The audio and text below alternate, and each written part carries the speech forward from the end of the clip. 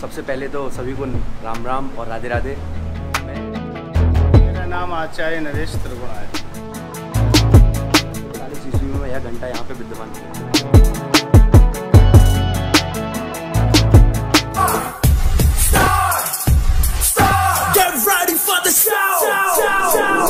नमस्कार दोस्तों स्वागत है एक बार फिर से आपका हमारे YouTube चैनल पर। मैं हूँ संदीप शर्मा। दोस्तों आज हम आप पहुँचे हैं सोरोजी।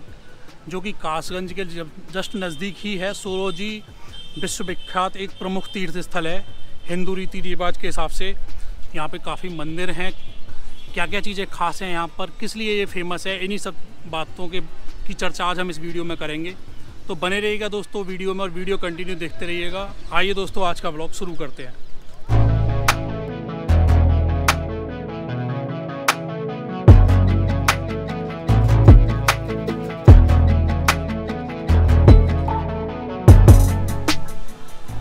दोस्तों सोरों में बारह भगवान का, भगवान बारह ने जो अपनी सूंड पर पृथ्वी को धारण किया था, आपको याद होगा हृणा हिरणाकश्यप और हिरणाक्ष के टाइम की ये कथा है।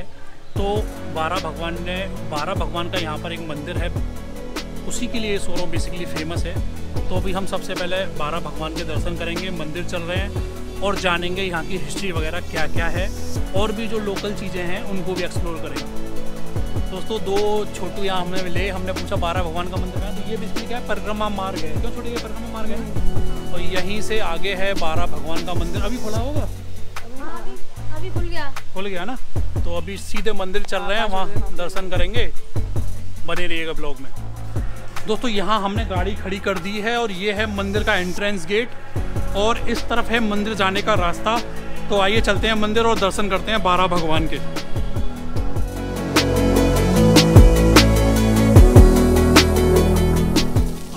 दोस्तों ये हम लोग पहुँच चुके हैं बारह भगवान के मंदिर पर। ये पीछे मेरे आप जो देख रहे हैं, ये पूरा मंदिर प्रांगण है। अभी धुलाई वगैरह चल रही है, सफ़ाई चल रही है। कितने बजे खुल जाता है ये मंदिर? चार से पाँच के बीच में खुल जाता है बट अब शाम को कितने बजे तक खुलेगा? शाम को खुलेगा ये ग्यारह नौ दस बजे तक। नौ दस बजे तक खुलेगा अब शाम को। शाम का समय है ये बेसिकली सुबह भी खुल जाता होगा पाँच बजे से ग्यारह बजे तक का टाइम होगा सुबह। हाँ, चार तो बजे चार बजे खुल जाता है सुबह। अब हम चल रहे हैं अंदर मंदिर में और दर्शन करते हैं आइए। दोस्तों हमारे साथ जो बारह भगवान का जो मंदिर है वहाँ के महंत हैं। तो पंडित जी से जानते हैं थोड़ा सा मंदिर की हिस्ट्री क्या है और कब कब यहाँ पर विशेषकर मेला वगैरह लगता है और कब कब भीड़ भाड़ रहती हाँ, मेरा नाम आचार्य नरेश त्रिगुणा है। मैं मंदिर का सेवायत श्री वरा मंदिर का। जैसे कि आप बोल रहे हैं मेला, ये हमारे इधर जो मार्गशीर्ष का महीना होता है, उस पर एकादशी के दिन भगवान वरा का भव्य मेला लगता है। और द्वादशी के दिन भगवान की शोभा यात्राएँ निकलती हैं, जो पूरे नगर में भ्रमण करती हैं। और उस दिन पूरा नगर सो, द्वादशी के दिन भगवान के बरहा कुंड पर स्नान करता है।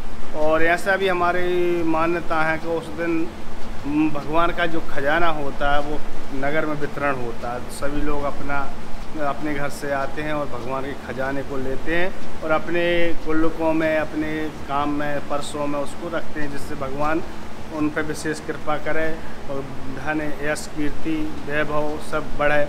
और विशेष करके भगवान जैसे आप ये प्रतिमा देख रहे हैं, ये भगवान की तो ये प्रतिमा भगवान की वराह रूप में धारण, भगवान विष्णु का तृतीय अवतार वरा, जो ब्रह्मा की नासिका से उत्पन्न हुआ, जब पृथ्वी को रसातल में हिरणाक्ष ले गया और समुद्र के अंदर रख लिया तो सारे देवताओं ने भगवान से प्रार्थना की ये भगवान, पृथ्वी का उद्धार करिए। तो भगवान विष्णु ने बरहा भगवान की नासिका से ब्रह्मा जी की नासिका से बरहा अवतार लिया। और बरहा अवतार लेके भगवान समुद्र के अंदर गए और हिरणाक्ष से युद्ध किया। युद्ध करने के पश्चात हिरणाक्ष का वध किया। वध करने के पश्चात भगवान ने अपने नखों पे जो नाक है, उसके ऊपर पृथ्वी को उठा उठाया। तो शास्त्रों में ये भी आता है कि जब भगवान पृथ्वी को लेके आ रहे थे, जब रसातल से तो इसी सूकर क्षेत्र पंच योजन विस्तीर्ण, जो पाँच योजन में बसा सूकर क्षेत्र जो है इसी से भगवान ने पृथ्वी को निकाला और भरोगो भगवान ने सर्वप्रथम पृथ्वी को स्थापना इसी क्षेत्र में रखा, फिर इससे पृथ्वी का फिर विस्तार हुआ। दोस्तों, सामने आप दर्शन कर रहे हैं बारह भगवान के, जिनके साथ में हैं लक्ष्मी मैया। विष्णु भगवान का ही रूप है ये। तो ये सामने आप दर्शन कर लीजिए।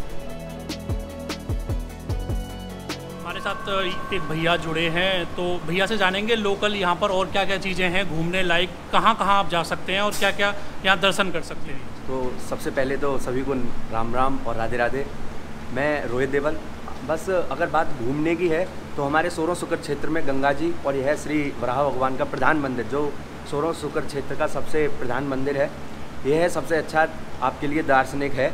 एवं अगर प्राचीनता की बात करें, प्राचीनता के हिसाब से तो हमारे यहाँ सीताराम मंदिर, श्री बटुकनाथ मंदिर, ऐसे कई यहाँ पर पौराणिक धरोहर हैं, जहाँ आप जाकर भगवान के दर्शन कर सकते हैं। वहाँ पर श्री बटुकनाथ मंदिर में एक वृक्ष भी है, जो कि सतयुगकालीन वृक्ष है, जिसका नाम है गृद्धवट जहाँ पर बताते हैं कि जिस वक्त प्रभु ने पृथ्वी का उद्धार किया था, उसके उपरांत माता पृथ्वी को प्रभु ने, श्री वराह भगवान ने वहाँ पे माता पृथ्वी को ज्ञान उपदेश दिया था। तो वो वृक्ष आज भी वहाँ पर विद्यमान है, जिसका नाम गृद्धवट है। ऐसी काफ़ी हमारे यहाँ प्राचीनता है, जिस सीताराम मंदिर के बारे में मैंने आपको बताया, वो 900 ईस्वी का बना हुआ है, जिसका जीर्णोद्धार भी हुआ है। और जिस मंदिर में अभी आप यहाँ पर उपस्थित हैं, यह भी काफ़ी पुराना मंदिर है, करीब हजारियों साल पुराना है। तो ऐसे ही हमारे शोरों में काफ़ी दर्शन के लिए स्थान है। आप लोग ऐसे आइए और यहाँ पर दर्शन कीजिए। श्री श्वेतवारा है कल्पे तो वही भगवान जिनका कल्प चल रहा श्री श्वेतवारा है रूम में भगवान। वरा विराजमान हुए अपना शरीर त्यागने से और पृथ्वी को उपदेश भी दिया। हे देवी जो भी पितृगण अपने पित, जो भी मनुष्य अपने पितरों की अस्थियाँ मेरे वराह कुंड में विसर्जन करता है तो वो मेरे पूर्ण प्रभाव से तीन दिन में वालू के कर्ण के समान उसी जल में विलीन हो जाएँगी। बहुत बहुत धन्यवाद महाराज जी आपका। जी। जी आपको श्री वराह भगवान मंदिर के मंदिर में जो यह आपको घंटा दिखाई दे रहा है यह जब वो मंदिर का जीर्णोद्धार नेपाल नरेश ने कराया था उस वक्त यह पंद्रह सौ इकतालीस ईस्वी में यह घंटा यहाँ पे विद्यमान किया गया था। काफ़ी पुराना घंटा है। दोस्तों, आज हमने आपको घुमाया सोरों, कैसा लगा वीडियो, सोरों की जितनी भी चीज़ें थी, हमने ज़्यादातर कोशिश की एक्सप्लोर करने की, ज़्यादा से ज़्यादा जानकारी देने की हमने आपको कोशिश की। तो कमेंट्स करके बताइएगा वीडियो कैसा लगा, अगर वीडियो अच्छा लगा हो तो लाइक कीजिएगा, दोस्तों के साथ शेयर कीजिएगा, और अभी तक अगर चैनल सब्सक्राइब नहीं किया है तो चैनल को सब्सक्राइब कर लीजिएगा। आज के लिए इतना ही, थैंक यू सो मच, जय हिंद, जय भारत।